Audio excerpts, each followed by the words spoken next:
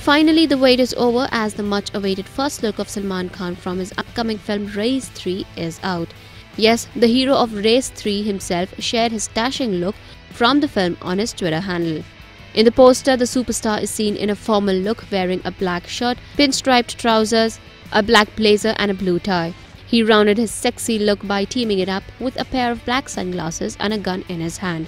Salman captioned it, इस हफ्ते मिलता हूँ रेस थ्री की फैमिली से मेरा नाम है Sikandar selfless over selfish race three this Eid Going by the tweet, this week is going to be an exciting one for Bhaijaan's fans as he will introduce the whole star cast of the film, including Jacqueline Fernandez, Bobby Deol, and Anil Kapoor.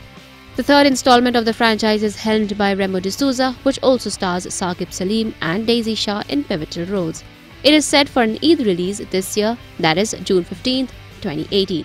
The team is currently in Abu Dhabi for the final schedule.